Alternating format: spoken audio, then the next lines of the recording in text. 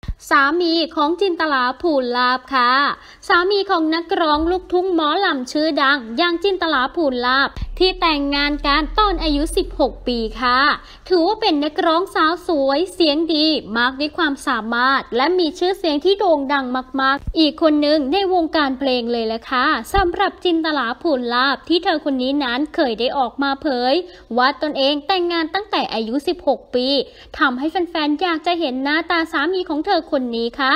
ว่าจะหล่อและดูดีขนาดไหน วันนี้เราจึงไม่พลาดที่จะพาทุกท่านนั้นมาชมภาพของสามีของจินตลาว่าจะหล่อและดูดีขนาดไหนค่ะ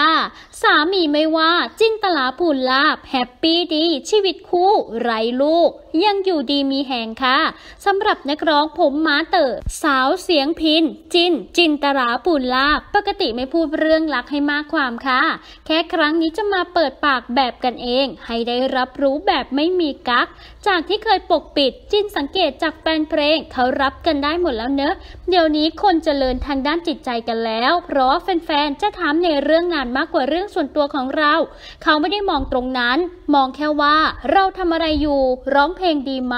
ไม่อยากมีลูกกวนตัว เพราะไม่ชอบเด็กหรือเปล่า ทางด้านจินตลาก็บอกว่า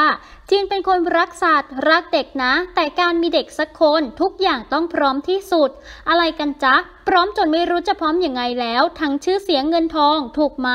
จินตลาดก็บอกว่า คือจินดูจากคนรอบข้าง เวลาที่มีให้ลูก เดี๋ยวก็เป็นไข้ เดี๋ยวก็ไม่สบาย การมีเด็กสักคนมันมีรายละเอียดที่เยอะแยะไปหมดให้ต้องดู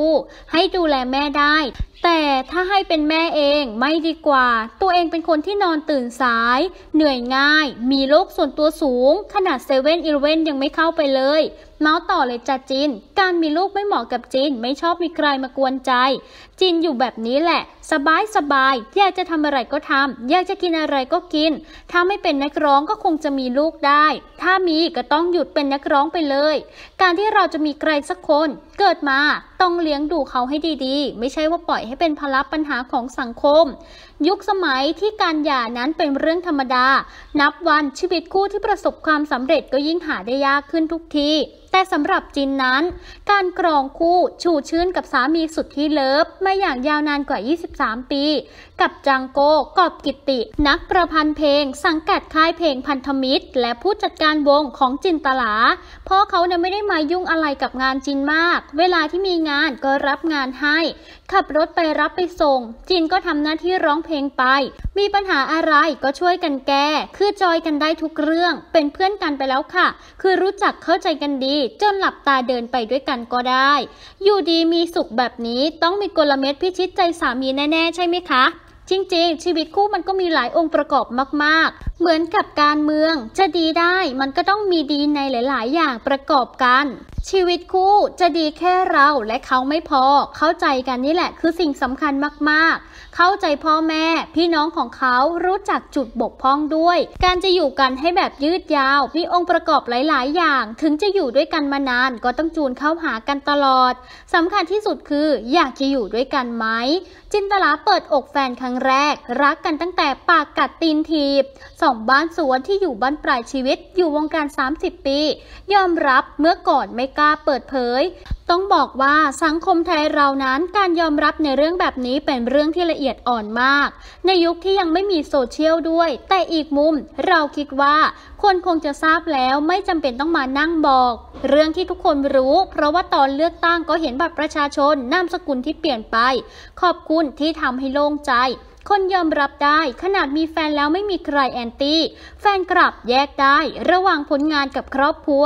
เราก็คบกันตั้งแต่ปากกัดตีนทีบ ยังไม่โด่งดัง อยู่กันมานานแต่ไม่มีลูก สมบัติเงินทองของเราที่มีก็แบ่งปันญาติพี่น้องตามสัดส่วน จินตลายังพาไปชมสวนที่จังหวัดร้อยเอ็ดเป็นบ้านแบบธรรมชาติมากๆค่ะ ปลูกสวนมะนาว แถมทำน้ำมะนาวขายอีกด้วย โดยบ้านปลายชีวิตอยากจะกลับไปอยู่บ้านที่ร้อยเอ็ดที่เรานั้นทำไว้ แต่จะขอร้องเพลงจนกว่าแฟนเพลงจะไล่ เพราะว่าเรานั้นรักอาชีพการร้องเพลงที่ทำให้เรามีทุกวันนี้ได้ รักมากที่สุดแก่ขนาดไหนก็จะคลานไปร้อง พร้อมยังพาไปหาครอบครัว ญาติพี่น้องหลายสิบชีวิตที่รักกันมานานมาก ๆ ค่ะ สำหรับจินตลาภูลาบ เธอเกิดวันที่ 6 มีนาคม 2512 ชื่อเล่นว่าจิน เธอคนนี้เป็นนักร้องลูกทุ่งหมอลำค่ะ ที่มีชื่อเสียงอันดับต้นๆของประเทศไทย เธอนั้นเป็นลูกคนที่ 4 จากทั้งหมด 5 คน ครอบครัวประกอบอาชีพเกษตรกรรม เธอคนนี้เริ่มร้องเพลงตั้งแต่สมัยยังเด็ก หลังจากชนะเลิศการประกวดร้องเพลงที่จังหวัดขอนแก่น ได้รับการชักชวนจากเฮียหญิง ชายสีบัวเลิศ นักจัดรายการวิทยุเพลงลูกทุ่ง เขาบันทึกเสียงเป็นนักร้องลูกทุ่งคนแรกของค่ายแกมมี่ค่ะ ซึ่งทำการตลาดโดย GMM ผลงานเพลงชุดแรกที่บันทึกเสียงนั่นก็คือ ถูกหลอกออกโรงเรียนโดยได้ใช้ชื่อว่า จินตลาภูลลาบ สังกัดค่ายแกมมี่เมื่อปี 2530 ค่ะ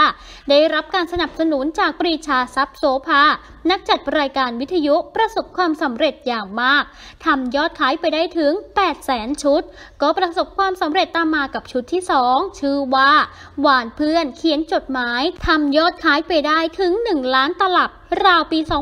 2530 ถึง 2531 งานเพลงในยุคแรกก็เป็นเพลงลูกทุ่งแบบกลาง แต่หลังจากมีผลงาน 5 ชุด หลังจากนั้นเธอก็เริ่มออกมามีผลงานเป็นแบบแนวหมอลำมากขึ้นค่ะหลังชุดที่ 16 เธอคนนี้ก็โด่งดัง จนได้รับความนิยมอย่างสูงสุดขณะที่ว่า ได้ร่วมงานเพลงแฟนจ๋ากับเบิร์ดธงชัยเลยแหละค่ะ เรียกได้ว่าเธอคนนี้เป็นอีกหนึ่งคนที่ไม่ธรรมดา และเปลี่ยนไปด้วยศักยภาพจริง ๆ ก็ต้องขอชื่นชมเลยค่ะ แล้วก็ลองมาชมภาพของสามีของเธอไปพร้อม ๆ กันว่า จะหล่อและหน้าตาดีขนาดไหนค่ะ